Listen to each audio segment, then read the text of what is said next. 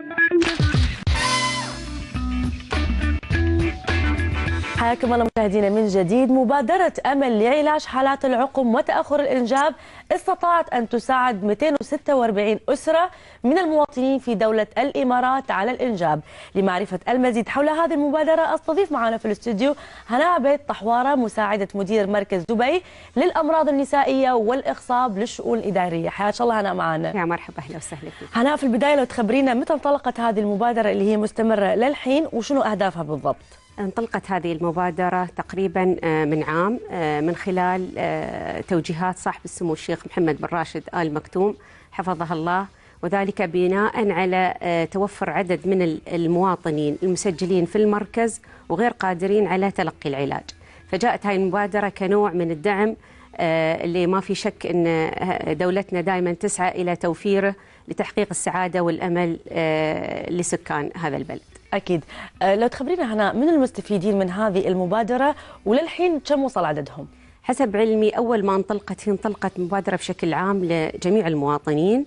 آه تم استحداث بعض الشروط بسبب آه عدم استطاعة المركز يعني لاستيعاب آه جميع جميل. الأعداد التي سوف تتقدم.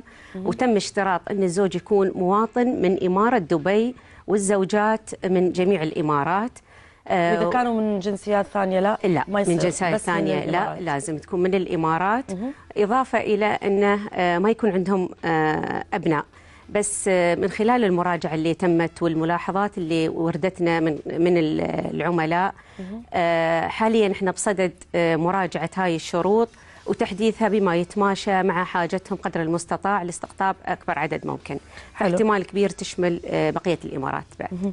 آه هذه المبادرة هنا تغطي مشاكل متعلقة بالاخصاب فقط أو مشاكل ثانية معها؟ هو مركز الاخصاب متخصص أصلا في علاج العقم والاخصاب آه، باقي الأمراض الثانية يراجعون في المستشفيات الهيئة التابعه للوزارة أو تابعة لهيئة الصحة أو هيئة آه، أبو ظبي. فحاليا بس تخصص علاج العقم لدى النساء والرجال. حلو.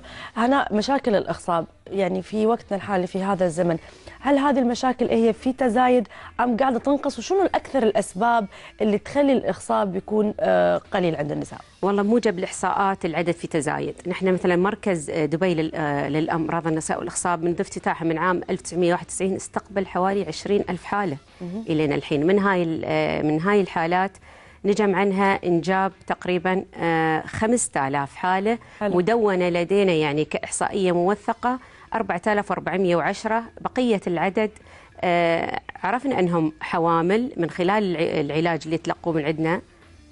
بس آه، بسبب تغيير ارقام وهاتفهم ما أكدنا هذا العدد فإحنا بصدد توثيق البيانات بشكل أسلم.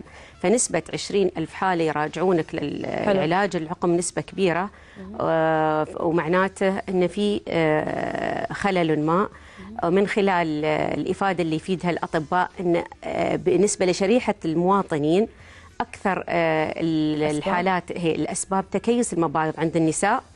وضعف آه، عينات آه، الحيوانات المنوية لدى الرجال.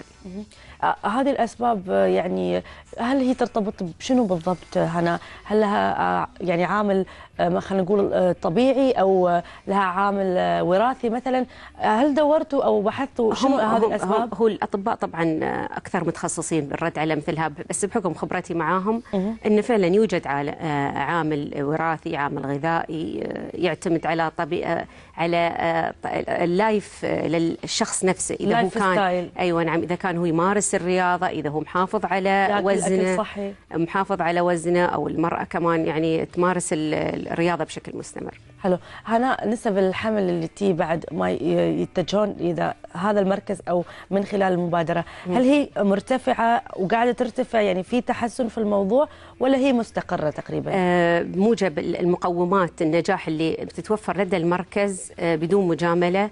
آه نحن نضاهي آه نسب العالمية وليس نسب المراكز الخاصة في الدولة. لأنه مركز اولا يتبع آه هيئة الصحة بدبي فهو مركز حكومي. تتبع فيه أرقى آه، وأضبط المعايير لرفع نسب النجاح. فحاليا آه، بآخر موجب آخر إحصائية الثلاث شهور اللي مضت 56% حلو. آه، إذا نقارنها بالنسب العالمية تتراوح ما بين 40 إلى 50% وهذا يتناسب مع كل الفئات العمرية مش فقط الفئة العمرية اللي هي أقل من 35 يعني ما زاد عن 35 اللي هم غالبا ما تكون نسب النجاح عندهم قليلة. حلو. فنحن آه، راضين عن نتائجنا ونسعى إن تكون في نفس المستوى شوية أقل يعني آه، أو أو شوية أكثر عفوا. هناء اللي يبي يستفيد من هذه المبادرة ومن هذا المركز شنو الخطوات وكيف يتقدم لكم عشان يستفيد من هذه المبادرة؟ آه، اولا آه، الاتصال بالمركز وأخذ موعد وبناء على الموعد نطلب منهم وثائق الجواز أو بطاقه الهوية للزوج والزوجة والجنسية.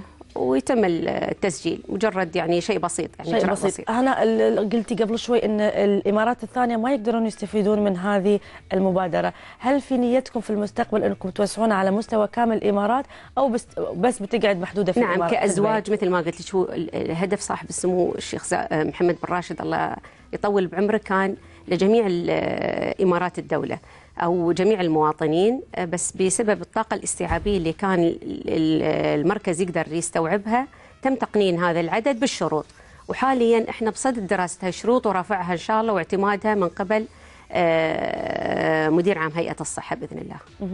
في بعض السيدات يمكن ما توصلهم هذه الفكرة هنا يعني ما ما عندهم فكره عن هذه المبادرة وعن هذا المركز. قاعدين تشتغلون على المستوى الإعلامي أو على مستوى آه، دبي ككل إنه تعرضون هذه الخدمة لأنه في كثير من السيدات ما تعرف. آه، أنا انتقلت لهذا المركز من أربع شهور وكل, وكل هدفنا كان مع فريق العمل تكثيف ال- ال-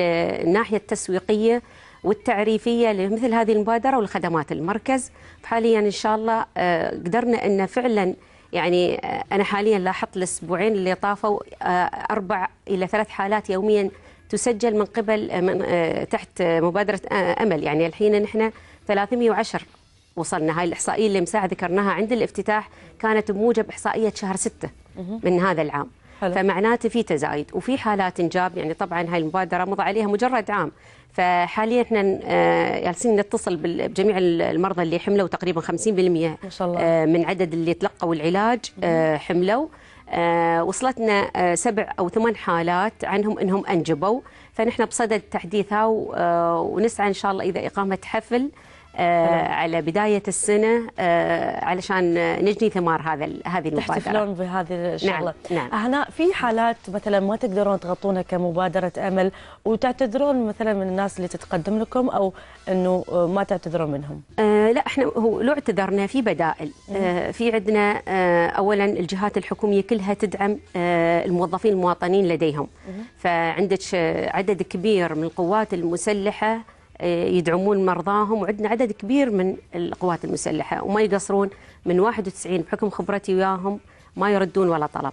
فهي يشيلون عنا نسبة كبيرة. إضافة إلى الشرطة سواء في دبي أو أبو ظبي أو أي إمارة بعد يدعمون موظفينهم.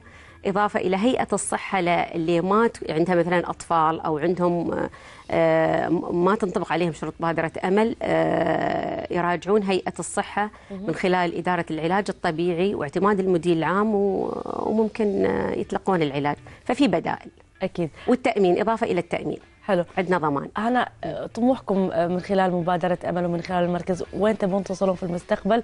وشنو تبون تحققون أكثر؟ طبعا ما في شك آه، إن فرحة إنجاب طفل شيء جميل جميل للعائلة وللي يرعى آه، ويقدم الخدمة لمثل هذه الفئات وللمجتمع هنا يعني نعم. كمجتمع نعم. إماراتي محتاجين أنه نعم. تطورون النمو الديمغرافي في, في هذه الدولة محتاجين طاقات بشرية أكثر نعم. فأكيد أنتم هذه من هذه من أهدافكم أكيد إحنا نأمل أن نتماشى مع استراتيجية الدولة مو بس آه، هيئة الصحة إن نحقق السعادة لجميع مرضانا إن شاء الله والتوازن الاجتماعي آه، اللي تسعى للدولة. أكيد. آه، هناء في ختام هذه الفقرة ويعطيكم ألف عافية على هذه المبادرة وعلى وجود هذا المركز اللي فعلا يساعد جدا الأسرة أنه تحقق اللي تبيه. آه، إيش تقولين للسيدات اللي قاعدين يتابعونا من خلال برنامج سيدتي؟ آه، طبعا أنا أخذت الجواب هذا من الدكاترة يعني سامحوني. فركزوا على آه، ننصح ال- المريضات إنها بمجرد ما تعرف إنها عندها مشكلة في الإنجاب تراجع المراكز المختصة. ما تجعل نفسها لعبة عند ال- الم-. عند ال- العيادات العادية أو الغير متخصصة في العقم والأخصاب. لأن علاج العقم علاج آه، جدا معقد ويحتاج نوع من الصبر وطولة البال. إضافة إلى الالتزام بما يوجههم به الطبيب المتخصص الاستشاري في هذا المجال والمختبر اللي آه، تتوفر فيه جميع الإمكانيات. ولأن آه، العلاج هذا آه، مش بعد بس الأطباء اللي يقوموا به عندنا فنيين مختبر هم مكملين للبرنامج العلاج اللي يقوم به الطبيب.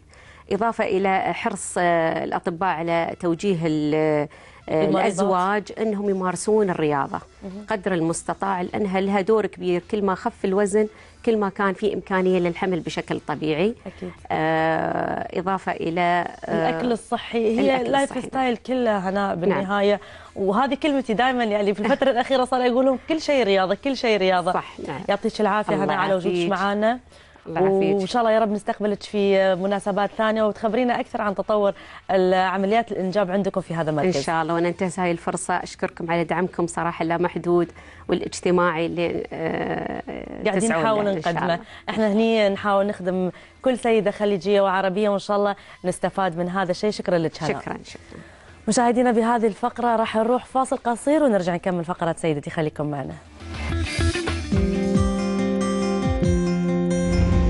أنت متفوقة معها. والطموحة معها. أنت السعيدة معها. الرابحة معها. معها أنت الشابة الدائمة. سيدتي سيدة المجلات العربية. سيدتي نت معك أثناء دراستك. معك في مملكتك. ومجلة سيدتي لكل فرد من عائلتك.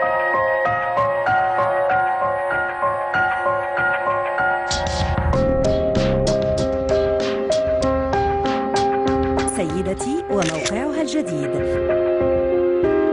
لكم ومعكم كل لحظة. سيدتي بعد الفاصل. محامية سعودية تتبنى قضايا الأخطاء الطبية.